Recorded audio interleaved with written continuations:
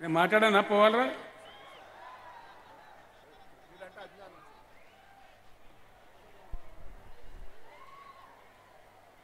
ఇంకో మాట ఏం చెప్తున్నారు? కాంగ్రెస్ పార్టీ అధికారంలోకి వస్తే ధరని తీసి బంగాళాఖాతంలో ఇస్తామంటుంది ధరని తీసి బంగాళాఖాతంలో ఇస్తారట. అది ఎవరు చెప్తున్నారు? కాంగ్రెస్ జాతీయ నాయకుడు రాహుల్ గాంధీ చెప్తున్నాడు. ఇక్కడ కాంగ్రెస్ వాళ్ళు చెప్తున్నారు పిసిసి అధ్యక్షుడు చెప్తున్నాడు. ఎందుకోసం పెట్టినాం ధరని ఒకసారి మీరు ఆలోచించాలి. మీ అందరికి అర్థం కావాలి. వట్టి బొబ్బాలు లొల్లి సీటీలు కాదు. ధరణి పోర్టల్ ఎందుకు తెచ్చినాం? ఏ కారణం చేతి తెచ్చినాం?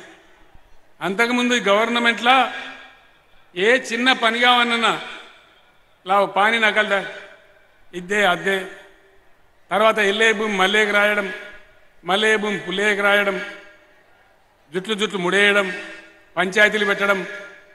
మనకి ఎంతమంది మగవాళ్ళు ఉండ్రి విఆర్ఓ ఒక భర్త గిరిదావర్ ఒక భర్త ఎంఆర్ఓ ఒక భర్త ఆయన మీద ఆర్డీఓ ఆయన మీద జాయింట్ కలెక్టరు కలెక్టరు.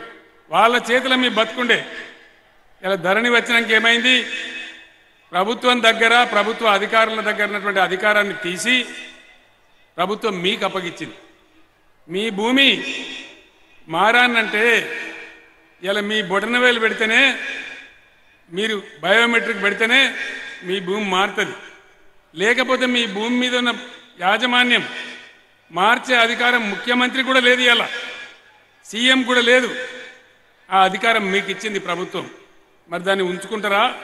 పొడగొట్టుకుంటారా? మీరు ఆలోచన చేయాలి. ఇవాళ మీకు రైతు బంధు డబ్బులు వస్తున్నాయి. ఎట్లా వస్తున్నాయి? హైదరాబాద్లో మేము డబ్బులు ఇస్తే అవి విడుదలై మీ సెల్ ఫోన్లు టింగు టింగుమని మోగుతున్నాయి. మీరు బ్యాంకులో చూసుకుంటే డబ్బులు ఉంటున్నాయి మీరు పెట్టుబడికి వాడుకుంటున్నారు. ఎవరైనా చనిపోతే ఐదు లక్షల రూపాయలు వాళ్ళ అకౌంట్లోకి వస్తూ ఉన్నాయి. వడ్లు ప్రభుత్వం మీ దగ్గర కొంటే వడ్ల పైసలు కూడా మీ బ్యాంకులోకి వస్తూ ఉన్నాయి. ఇవన్నీ కూడా జరుగుతూ ఉన్నాయి మీ కళ్ళ ముందర. మీ కడుపులో చల్లగదలకుండా మీరు ఏ దరఖాస్తు పెట్టకుండా ఏ ఆఫీస్కి పోకుండా మీకు బ్రహ్మాండంగా రైతు బంధు డబ్బులు వస్తూ ఉన్నాయి రైతు బీమా డబ్బులు వస్తూ ఉన్నాయి. మీరు వడ్లమ్మిన డబ్బులు కూడా వస్తూ ఉన్నాయి. ధరని తీసేస్తే మరి ఎట్లా రావాలా డబ్బులు? ఏ పద్ధతిలో రావాలా? వస్తాయా డబ్బులు? ఏమంటాడు? ధరని లేదు. ఏమవుతుంది రైతు బంధు రావాలి. ఎన్ని ఎకరాలన్నది నీకు? నాకు ఆరు ఎకరాలని సంవత్సరానికి ఎంత వస్తుంది అరవై వేలు వస్తుంది నేను నీకు బట్టి ఎందుకు ఇస్తా?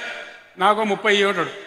మళ్ళా పానీ నకలు మళ్ళా ఆఫీసుల చుట్టూ తిరుగుడు మళ్ళా మొదటికే వస్తుంది కైలాసం ఆటలో పెద్ద పాము మింగినట్టు అవుతుంది అందుకోసం నేను చెప్పేది ఏంటంటే ఈ సీటీలు బీటీలు కొట్టుడు దుంకుడు కాదు. ఈ విషయాల మీద చర్చ పెట్టాలి. వీటి మీద మీరందరూ మాట్లాడాలి.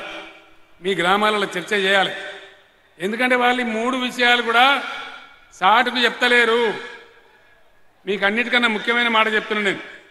నేను కొట్లాడి నా ప్రాణం నా ప్రాణం అడ్డం పెట్టి నేను తెలంగాణ తెచ్చిన కాబట్టి మీ బతుకులు చెడిపోవద్దని చెప్పి నేను చెప్తా ఉన్నా.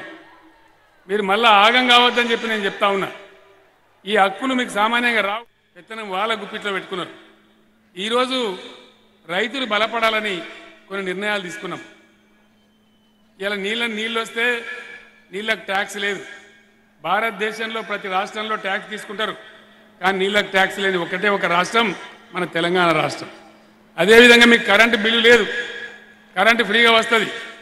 రైతు బంధు పెట్టుబడి వస్తుంది. చనిపోతే రైతు బీమా వస్తుంది. మీ ధాన్యం కూడా ప్రభుత్వమే కొంటా ఉంది. మరి ఇన్ని సదుపాయాలు ఏ రాష్ట్రంలో కూడా లేవు. ఈ సదుపాయాలు మొత్తం తీసేస్తామని వాళ్ళు చెప్తున్నారు. మరి ఉంచుకుందామా? కూడగొట్టుకుందామా అందుకే నేను చెప్పేది. మీరు ఆలోచించి ఓటేస్తే మీ హక్కులు మీకు ఇట్లే ఉంటాయి. ఓడగొట్టుకుంటే ఆగమాగం అయితే అప్పుడు కేసీఆర్ కూడా ఏం చేయలేడని చెప్పి నేను మనవి చేస్తా ఉన్నా. ఇవన్నీ వాళ్ళు చాటుకు చెప్తలేరు. ఓపెన్గా చెప్తున్నారు. టీవీలలో చెప్తున్నారు. బాజప్త స్టేట్మెంట్లు ఇస్తున్నారు. మేము వస్తే ధరని తీసేస్తాం. ధరని తీసి బంగాళాఖాతం వేస్తాం అని చెప్తా ఉన్నారు. మరి పోడగొట్టుకుంటే జాగ్రత్త. నేనేమో తెచ్చే అధికారం మీకు ఇచ్చినా వాళ్ళేమో తీసేస్తా అంటున్నారు. ఏం చేయాలని మీరు నిర్ణయించాలి. ఈ విషయాలు మీరు చర్చ పెట్టాలి. బట్టిగా ఎగురుడు దుంకుడు కాదు ఆవేశం కాదు. ఆలోచన చేయాలి. ఆలోచన చేస్తే అన్ని విషయాలు మీకు తెలుస్తాయి. కాబట్టి దయచేసి నేను ప్రతి ఒక్కరిని కూడా కోరుతా ఉన్నా. దయాకర్ రావు ఆయన గురించి నేను మీకు చెప్పే అవసరం లేదు. కారణం ఏంది? పంచాయతీరాజ్ మంత్రిగా ఉన్నాడు. ఇలా మీ ఊర్లలో సీసీ రోడ్డు ఎట్లయినాయో మీకు తెలుసు. మీ తండాల సీసీ రోడ్డు ఎట్లయినాయో మీకు తెలుసు. ప్రతి గ్రామానికి బీటీ రోడ్ ఎట్లయిందో మీకు తెలుసు. మిషన్ భగీరథ కూడా ఆయనే మంత్రి. నల్లాల నీళ్ళు ఎట్లా వస్తున్నాయో మీకు తెలుసు. నేను ఒక్క మాట అడుగుతున్న దయచేసి మీరు ఆలోచన చేయాలి. మీరందరూ కూడా ఆలోచన చేయాలి ఏంటంటే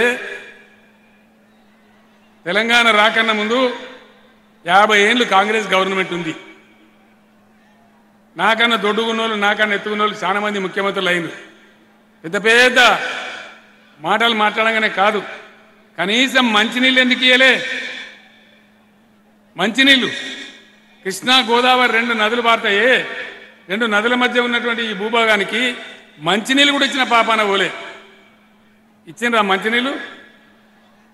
లంబాడి బిడ్డలు మా తండాలో మా రాజ్యం. మాకుండాలి అధికారం రావాలంటే ఇచ్చిండ్రా. ఒక్క బీఆర్ఎస్ ప్రభుత్వమే ఇవాళ పాలకృతి కాన్స్టిట్యున్సీలో నలభై తొమ్మిది మండలాలను పంచాయతీలకు ఏర్పాటు చేసింది. అక్కడ గిరిజన బిడ్డలే సర్పంచులకి రాజ్యం ఉన్నారు. మాకు చాలా సంతోషంగా ఉంది. అదేవిధంగా గిరిజనుల యొక్క రిజర్వేషన్ పది శాతం పెంచుకున్నాం. సత్యవతి గారు నేను మాట్లాడి హైదరాబాదులో ఏ రోజైతే రిజర్వేషన్ ప్రకటించినామో ఆ రోజు ఒక ప్రకటన చేసినాను మీరందరూ కూడా ఇన్నర్ టీవీలలో. దళిత బంధు ఎట్లయితే ఇస్తున్నామో గిరిజన బిడ్డలు కూడా భూమి లేకుండా ఉంటే ఉద్యోగ